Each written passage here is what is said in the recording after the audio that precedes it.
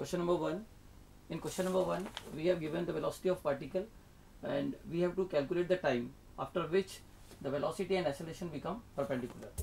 So as far in the question given first if velocity and acceleration are perpendicular then their dot product must be equal to 0 given.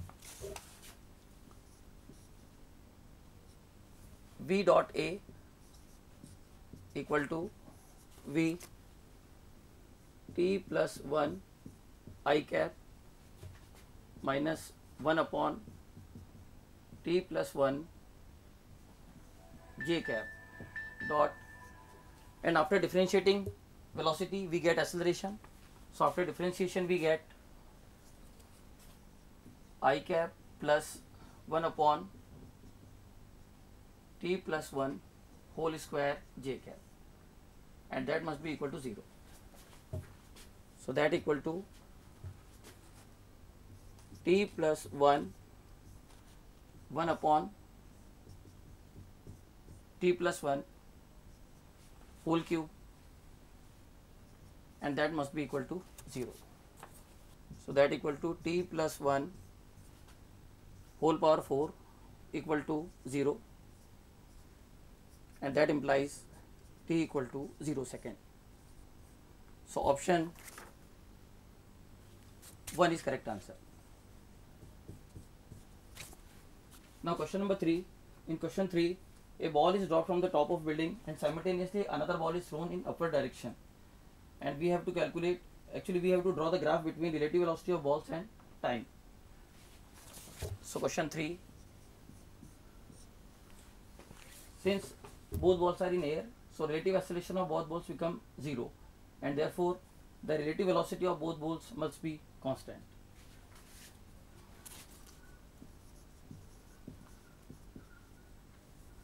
Relative, relative acceleration is 0, so relative velocity must be constant. So option fourth is the correct answer. Answer four. T and relative velocity. V. Question number four. A particle starts from rest. Its acceleration a versus time t is as shown in the figure. The maximum speed of the particle will be. We know that the area under AT curve represents change in velocity. But since the particle starts from rest and therefore maximum speed maximum speed equal to area under VT curve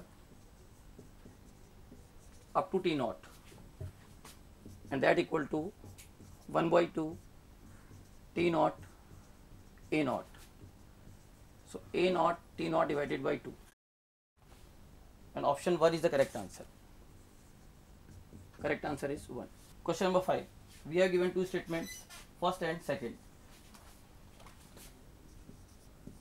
We know in linear SHM since force is directly proportional to force is directly proportional to displacement with negative sign. So obviously option A is the correct. So A statement is correct and B is wrong.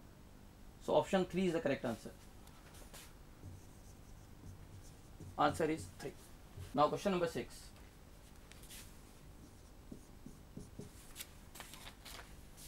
A stone of mass m tied to the end of a string revolves in a vertical circle of radius r. The net force at the highest point is. So if you draw free body diagram, if you draw free body diagram of the particle at the topmost point, then we get tension towards center and weight vertically downwards and that is velocity v. So if you write net force F net and that will be equal to T plus mg and that equal to mv square by r and therefore net force is equal to T plus mg. So obviously option first is the correct answer. Answer 1. So number 7. A closed compartment containing gas is moving with some acceleration in horizontal direction, neglect effect of gravity, then the pressure in the compartment is. So due to inertia, due to inertia, the molecules in the rear side will be more. And therefore the pressure on the rear side of the compartment will be more and lower side and in the lower in the front side that will be lower. So obviously option second is the correct answer